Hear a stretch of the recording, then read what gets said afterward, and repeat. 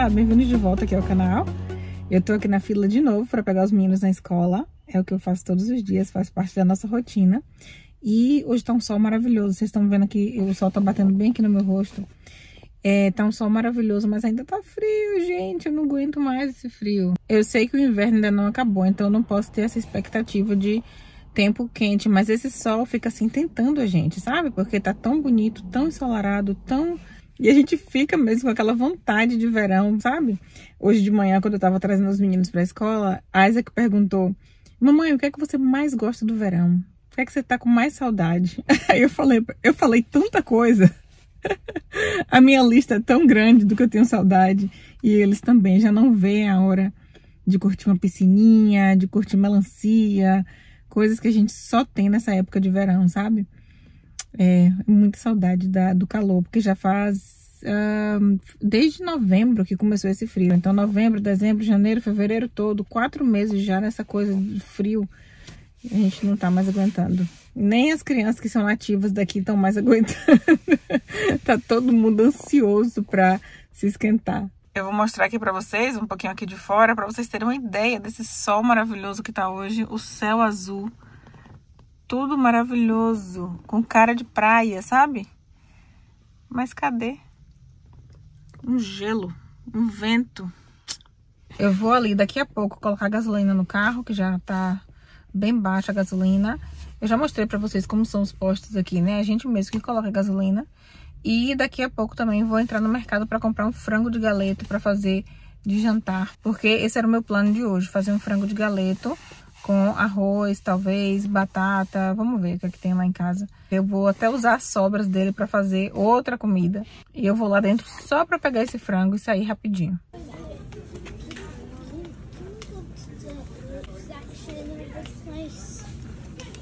Ontem eu comprei o frango lá no Kroger. Só sobrou isso. E agora eu vou tirar o resto da carne que tá aqui. Eu vou cortar em cubinhos para fazer uma torta de frango com essas sobras aqui. Eu vou seguir essa receita aqui para fazer minha torta de frango. É, se chama Chicken Pot Pie, é uma torta americana mesmo. E ela veio numa revista, eu tirei da revista, cortei e coloquei aqui no meu, no meu livrinho de receita. Que é, na verdade, um classificador desses de plástico. Eu fiz há muitos anos atrás, coloquei nosso título, livro de receita da família Milese. E aqui só vão as nossas preferidas, as receitas que eu repito sempre eu faço sempre pra gente. E eu guardo algumas coisas também, tipo receitas que vem, sabe, que eu encontro assim. Eu guardo aqui, tiro da internet, muita coisa da internet. Então é isso, vamos começar.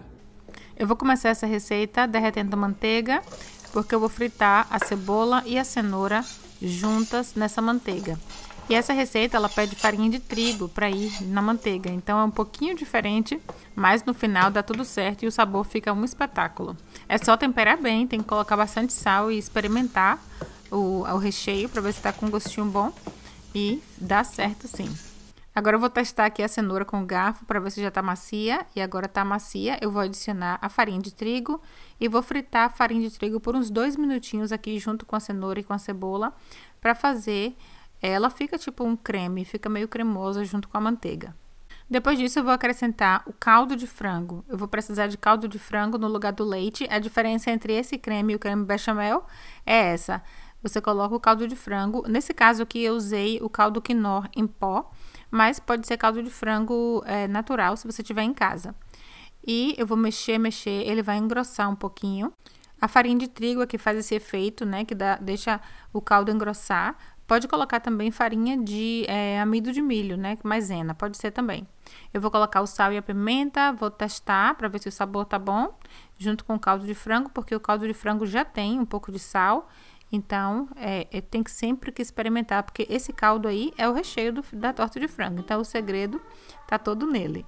Agora, eu vou acrescentar o creme fresco, vou mexer e vou deixar incorporar por alguns minutinhos. Ele vai engrossar ainda mais o caldo porque o creme ele engrossa um pouquinho depois que ele cozinha. E depois disso eu vou acrescentar o frango que eu desfiei toda aquela parte do frango do galeto que eu comprei no mercado. Eu tirei toda essa parte do peito, desfiei ele e fica muito bom para essa receita. É, na verdade, a parte é, a parte do, do peito é a melhor para fazer essa receita, né? Porque ele é bem macio. Então eu vou mexer bem E depois eu vou acrescentar as minhas ervilhas. Eu vou usar ervilhas congeladas nesse, é, nessa torta, porque são as minhas favoritas. Eu não sou muito fã de ervilha enlatada, mas se você só tem ervilha enlatada e quer experimentar essa receita, dá para fazer também com ervilha enlatada. É mesmo uma questão de preferência. Então, eu vou adicionar a minha ervilha. Eu nem medi, eu só coloquei um tanto que eu achava que estava bom. É mais ou menos uma meia xícara.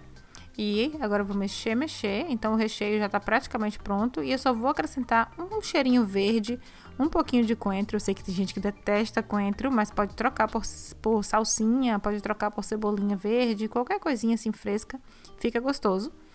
Então eu vou colocar o meu coentro, mexer e o recheio já está pronto.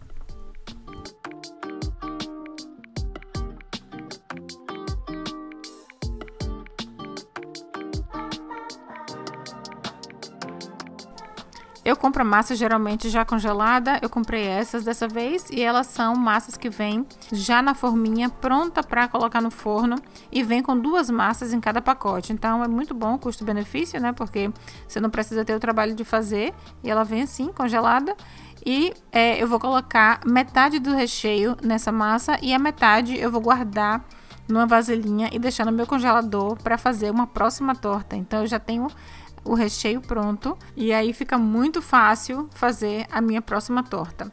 Depois disso eu vou colocar uma outro tipo de massa, um outro tipo de massa que ela não vem congelada, ela vem na, da geladeira e ela é um disco que eu compro enrolado e aí eu desenrolei ele, coloquei em cima dessa outra massa e fiz assim, essas, apertei assim os cantinhos para não ficar saindo o recheio, apertei bem e depois eu fiz é, uns furinhos com a faca para sair assim o vapor, né? Porque quando ela assa, ela fica cheia de vapor por dentro. Então, para sair, para escapar, eu fiz esses furinhos com a faca.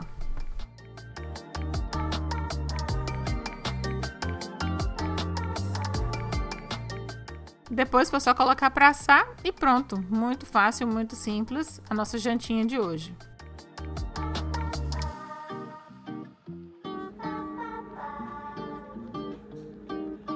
Hoje nós vamos almoçar fora, é sábado. E eu só queria mostrar pra vocês o que eu tô usando. A minha calça tá toda amassada. Não deu tempo de passar ferro. Mas estou usando um tênis branco, que já tá velhíssimo esse tênis. Mas eu ainda gosto dele. É um Nike branco. Os restaurantes aqui são muito informais, super informais. Não, não são, assim, é, chiques. Assim, principalmente para almoço, sabe? Mais sanduíche. Quando você sai de dia é uma coisa muito informal. Então, a gente vai assim mesmo, de tênis, de calça jeans, não tem nada assim chique, arrumado, de salto, nada disso. À noite as pessoas se arrumam bem mais, né, pra sair pra jantar, mas pra almoçar, um look informal assim, dá pro gasto. Então eu tô usando um suéter, uma calça jeans azul e um tênis branco, combinando com a camiseta e vou colocar uma bolsinha e vou assim. Fiz uma maquiagem bem básica, hoje eu lavei o cabelo, Hoje foi dia de lavar cabelo. E eu vou com ele assim meio preso, meio solto. Colocar uma piranha aqui. Pronto. Esse é o meu look do dia. Pra sair com a, a galerinha. Hoje tá um dia tão maravilhoso. E vocês ficaram curiosos pra ver as minhas plantinhas como já estão. Olha como já estão altas. Crescendo muito. E já estão à beira de florirem. Mas ainda não floriram. Por quê? Olha a área onde elas ficam. É sombra. E olha o sol onde tá. Tem sol aqui na frente todo, mas aqui nesse cantinho não bate de manhã. Então elas estão devagar. Acho que daqui a pouquinho elas vão aparecer. Tá assim o progresso, vocês que pediram pra ver. As outras que eu plantei aqui do lado estão assim, ó. Essa daqui tá quase, tá quase saindo. Foram bem pouquinhas as que eu plantei aqui do lado, porque foi só o restinho das de lá, que, não, que eu não quis plantar lá. Três bulbos aqui, coloquei mais três aqui. Aí como estão. Essa daqui eu acho que algum bichinho comeu ou então caiu, ó. Essa daqui não deu certo. E aqui na ponta eu coloquei mais umas duas. Que também ainda não aconteceu nada com elas. Aí eu acho que eu vou tirar elas daqui é, no próximo outono. E vou plantar em outro lugar, um lugar de sol, sabe? Um lugar melhor, ali perto daquela árvore, não sei. Vou ver, mas é assim que tá o progresso. Eu vou mostrar pra vocês, olha como tá bem ensolarado hoje. Que dia maravilhoso. A gente vai sair agora, Vamos curtir o nosso sábado. A casa está aqui de pernas pro ar, mas hoje eu não tô nem aí. Eu vou... Dia de sábado, geralmente, a gente sai com a família. E aí eu vou sair, vou... a gente vai comer fora. Quando eu voltar, eu dou um jeitinho aqui em tudo. E preparo o jantar também.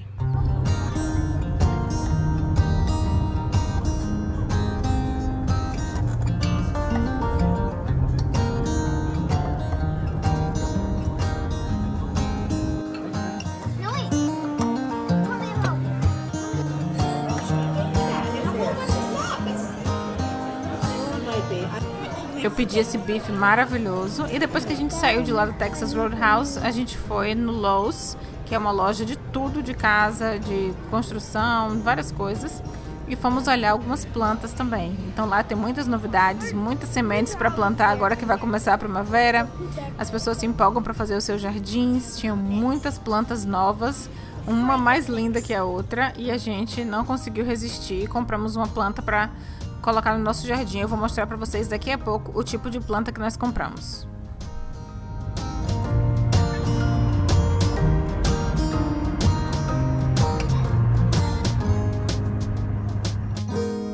Aqui em casa tem essa planta também, é, que ela não cresce direito, sabe? Ela é uma coisa assim muito esquisitinha, ela nem cresce, nem dá flor, nem nada, mas tá aqui no cantinho da casa. E aí eu falei com o Andrew, vamos tirar aquela planta de lá e colocar alguma coisa mais bonita no lugar. E aí a gente encontrou lá no Lowe's, agora a gente encontrou essa planta que também é um buchinho, mas ele cresce assim uns, uns dois metros. E aí a gente pegou esse, é tipo uma árvorezinha e dá essas flores maravilhosas, se chama de lilás, lilac, lilac. E são flores rosas, então a gente tá com esperança de que so sobreviva. Vem assim, ó. Vem com uma bola de raiz lá embaixo plantada e já tá crescendo. Já tá começando a nascer o verdinho. A gente vai colocar aqui no lugar dessa para ficar uma área bonita aqui no canto da casa. Esse dia tava tão lindo que a gente não queria que acabasse. A gente saiu, ficou procurando lugares para ir para o dia não acabar. As crianças brincando lá fora, o sol brilhando, muito gostoso. Nice! Uhul! Nice!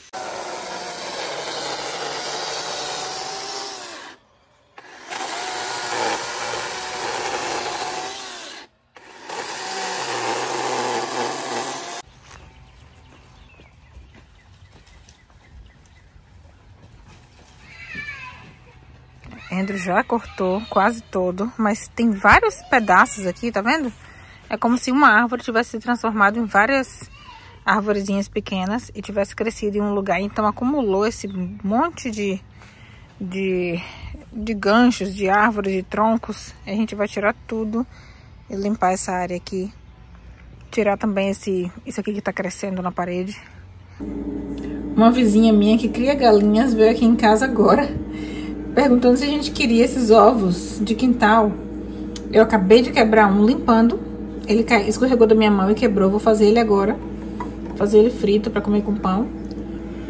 Mas olha que luxo aqui nos Estados Unidos, ovo de quintal. Limpamos a área toda aqui fora, mas ainda faltam algumas raízes que Andrew está esperando elas secarem mais um pouquinho, porque estava muito difícil de tirar, mesmo com aquela máquina, estava muito difícil de tirar. São raízes que já tem muitos anos aqui, então a gente vai esperar tirar essas raízes para depois, depois plantar essa plantinha. Ela ainda está aqui no meu pátio, eu estou molhando ela do jeitinho que veio mesmo e a gente vai plantar e eu vou mostrar para vocês como ficou. Eu tenho que cercar também para os bichos não comerem esses verdinhos e é, proteger e ver se ela vai durar, né? Para ver se é, a gente vai ter um buchinho bem bonitinho com flores rosas. Gente, nosso vídeo acaba por aqui. Muito obrigada a você que ficou aqui até o final. Obrigada por terem assistido a mais esse vídeo. Eu vou ver vocês no meu próximo vídeo. Um beijão. Tchau, tchau.